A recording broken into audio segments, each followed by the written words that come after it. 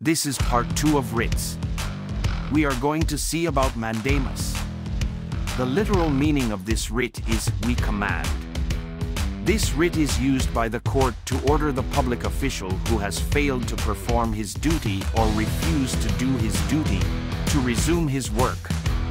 Besides public officials, mandamus can be issued against any public body, a corporation, an inferior court, a tribunal, or government for the same purpose. Facts about mandamus in India. Unlike habeas corpus, mandamus cannot be issued against a private individual.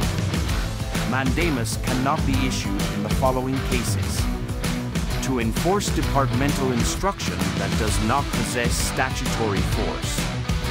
To order someone to work when the kind of work is discretionary and not mandatory to enforce a contractual obligation. Mandamus can't be issued against the Indian president or state governors. Against the Chief Justice of a High Court acting in a judicial capacity.